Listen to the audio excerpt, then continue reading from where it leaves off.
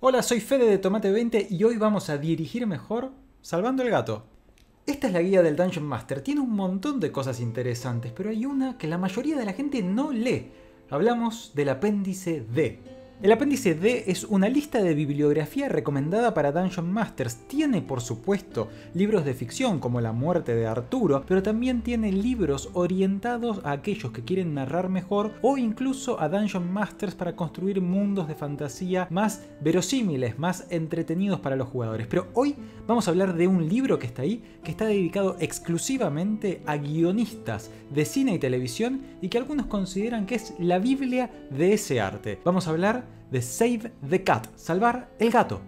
Este libro de Blake Snyder es considerado una suerte de curso intensivo de guion. Algunos incluso lo consideran la Biblia del guion de televisión y cine. Otros consideran que es un libro demasiado básico y formulaico y critican a quienes hacen guiones solamente con los tips que da Snyder en este libro. Sin embargo, algo que sin dudas es cierto es que contiene un montón de consejos que son realmente útiles para vos si sos un Dungeon Master que querés narrar mejor. Y por supuesto el primer consejo con el que empieza, que es el que da nombre al libro, es el famoso consejo de Save the Cat, salvar el gato. ¿A qué se refiere Blake Snyder cuando habla de que debemos salvar el gato en una narración?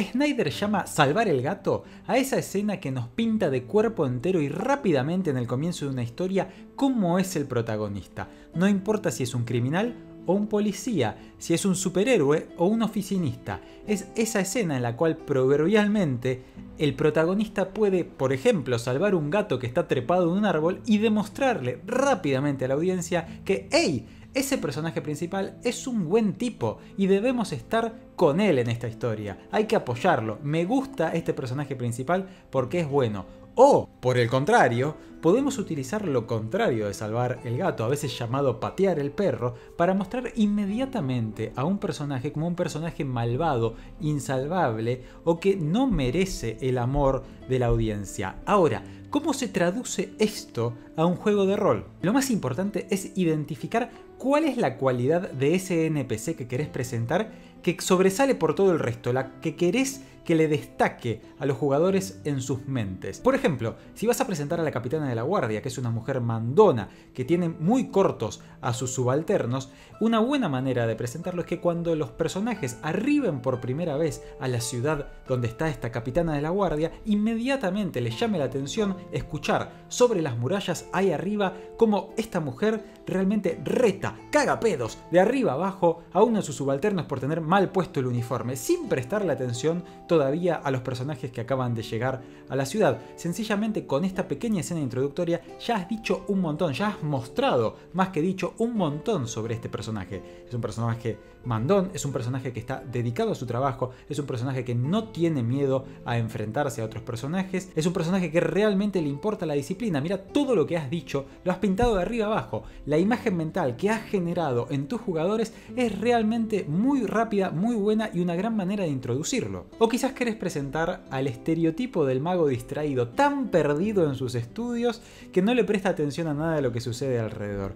Entonces cuando los personajes entran a su laboratorio, lo mostrás a él perdido en un libro, murmurando, leyendo en voz alta ciertos pasajes mientras una de sus pócimas está rebalsando porque no le está prestando atención. Esto inmediatamente te lo pinta, por más de que sea un estereotipo y vivan los estereotipos porque nos divierten, te lo pinta de cuerpo entero a este personaje inmediatamente tus jugadores ya van a saber más o menos por dónde viene la mano con él. Pero no hace falta caer en estereotipos, también se pueden hacer cosas más complejas, más grises moralmente. Quizás querés introducir, por ejemplo, a un alcalde de una ciudad que es extremadamente legalista, duro, no es ni malvado ni bueno, pero es extremadamente legalista, lo que llamaríamos en Dungeons and Dragons alguien de alineamiento legal neutral. Bien, entonces entran los personajes a la mansión, el cabildo de este alcalde, y escuchan al entrar como un granjero le pide, por favor, señor alcalde, no llego a pagarle los impuestos, no tengo suficiente dinero, y el alcalde diciéndole, sin maldad, sin bondad, bueno, si usted no ha sido capaz de prever una mala cosecha, lo siento mucho por usted, pero si el dinero no está, vamos a tener que subastar su granja. Inmediatamente este alcalde puede parecer cruel o no, puede parecer justo o injusto, pero lo que queda claro es que tiene muy, muy, muy bien definidas sus prioridades e inmediatamente lo has pintado de cuerpo entero y tus personajes, de acuerdo a sus creencias personales, pueden estar de su lado o en su contra, pero ya saben más o menos quién es. Ahora, la contrapartida de esto, lo que no hay que hacer de ninguna manera es que los personajes no jugadores, los NPCs, sean sencillamente gente que está parada en post-CT esperando que lleguen los personajes principales, los personajes de los jugadores, y que les pregunten, les activen esa quest que es un signo de exclamación amarillo que les está flotando arriba de ellos sin hacer nada más.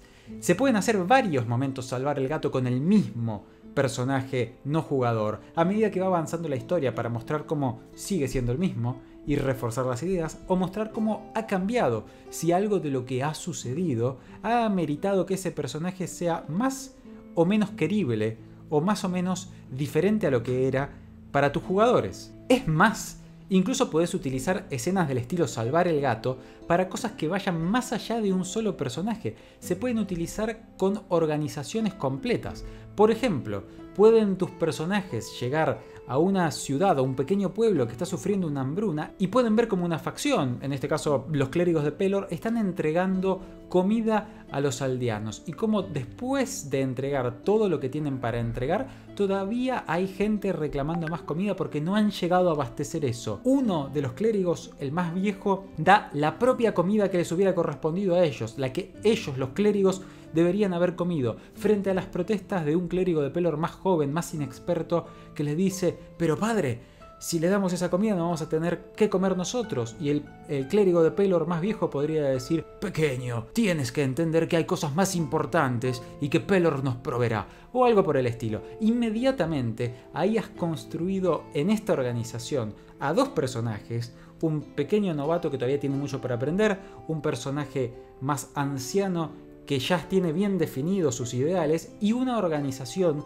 que está dispuesta a sacrificarse a sí misma por el bien de los demás, con una escena mínima, introductoria, que no lleva ni más de 3 minutos en tu mesa, donde los has mostrado como son, una escena que los define, una escena de salvar el gato. En resumen, este es un tipo de escena que te permite mostrar por qué importa un NPC en tu historia. La pregunta principal que tenés que hacerte es ¿Por qué importa este NPC en la historia? ¿Qué suma? ¿Qué es lo más importante de él? Y hablando de mostrar, no te olvides de ver nuestro video anterior sobre el tema de narrar mejor mostrando en vez de diciendo. Es uno de los puntos más importantes para mejorar rápidamente el dinamismo de tus narraciones. Aprovechamos para agradecerle a los amigos de Concilio del Sur que nos mandaron flores por el video que publicamos. Agradecemos también a El Bardo del D&D que nos mandó un par de tips para hacer este video un poquito mejor. Siempre hay cosas que corregir, siempre hay cosas para mejorar y nosotros las tomamos siempre con la mejor de las ondas. Aparte del Bardo del D&D, les recomendamos que vayan a visitarlo. Para nosotros es uno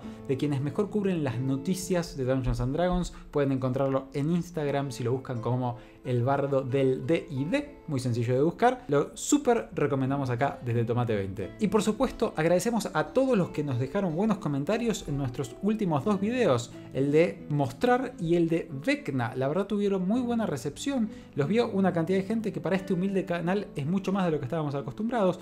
Pequeña quizás para YouTube, pero siempre se empieza así una pequeña semilla que luego crece y agradecemos a todos y cada uno de ustedes a quienes nuestros videos les interesan.